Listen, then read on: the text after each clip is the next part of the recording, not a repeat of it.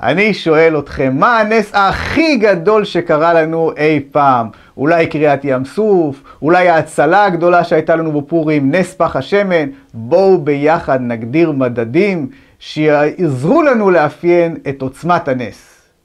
מדד אחד זה הניגוד של הנס לחוקי הטבע. ככל שהנס הוא יותר מופלא, כך הוא משדד יותר את מערכות הטבע, ובעניין הזה, קריעת ים סוף זה נס מופלא, כי המים אין טבעם לעמוד כמו חומה. מצד שני, יש לנו את התועלת של הנס, ובתועלת שלו, ההצלה שהייתה לנו בפורים להשמיד, להרוג ולאבד את כל היהודים שניצלנו מגזירת המן, התועלת פה היא מרבית, וזה המדד השני.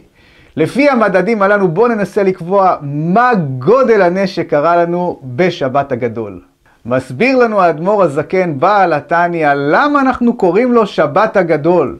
אומר האדמו"ר הזקן, מכיוון שבאותו יום נעשה נס גדול, מהו הנס? היהודים לקחו את הכבש שהיה האליל הקדוש של המצרים, וכשהם שאלו אותו, מדוע אתם לוקחים את הכבש, את האליל הקדוש שלנו? ענו היהודים במצרים, מכיוון שהשם ציווה אותנו לקשור אותו ד' ימים במיטה, מי' עד י"ד, לאחר מכן לשחוט אותו בי"ד בניסן, ואז הקדוש ברוך הוא יכה ויהיה מכת בכורות במצרים וכל הבכורות ימותו. שמעו הבכורים והאמינו, הלכו להוריהם ואמרו להם בואו נפעל בחלונות הגבוהים אצל פרעה שישחרר את העם הזה כבר ממצרים, עוד מעט אנחנו מתים.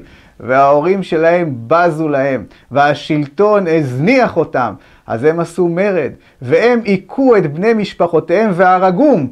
וזה דוד המלך כתב על זה פסוק מיוחד, למכה מצרים בבחוריהם, כי לעולם חסדו. פירוש הפשוט הוא שהקדוש ברוך הוא היכה את מצרים, איך הוא היכה אותם? באמצעות הבכורים שלהם עצמם. הם עשו את העבודה, ועל שם כך נקראת שבת הזו הבאה עלינו טובה, שבת הגדול.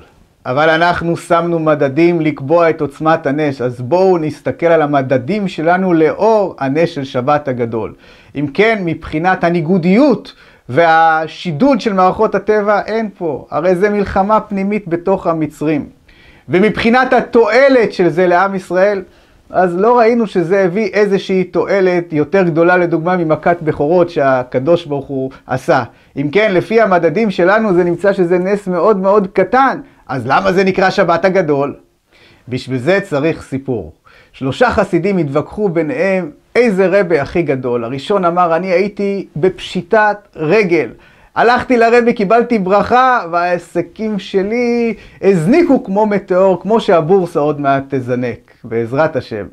השני אמר, אה, אני היו לי, לא היו לי ילדים. עשר שנים אני ואשתי, הרופאים כבר התייאשו, הלכתי לרבה שלי, קיבלתי ברכה וזכיתי להגיד לחיים בלידה של בן זכר.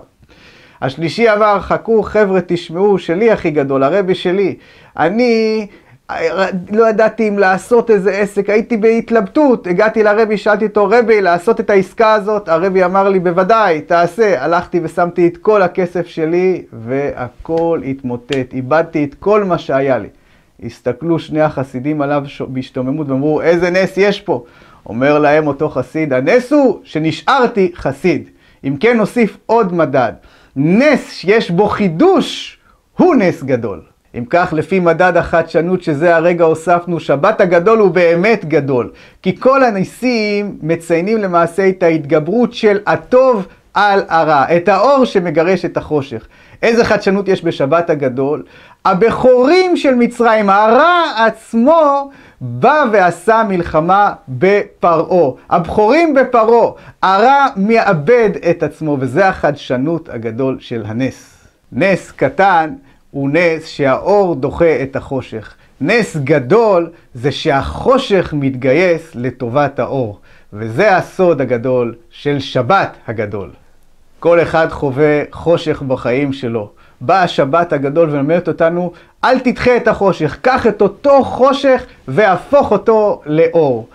מה, ניקח לדוגמה מהימים, אנחנו נקפא עלינו בידוד, אפשר לקחת את אותו בידוד ולהתעלות בעבודת השם מבלי הפרעות, ללמוד כל מיני דברים שלא היה לנו זמן ללמוד, ועכשיו בגלל הבידוד שנקפא עלינו, הרבה זמן אנחנו יושבים בבית, אנחנו יש לנו זמן להיות תולעת ספרים. אפשר לקחת את הזמן הזה ולנצל את זה לחזק את התא המשפחתי. הרי בדרך כלל כל אחד מאיתנו יוצא למקום אחר ועכשיו אנחנו יושבים בבית, אנחנו צריכים להתחזק בעניין המשפחתיות שלנו. בעזרת השם נזכה שתכף ומיד החושת הגדול הזה יהפוך לששון ולשמחה.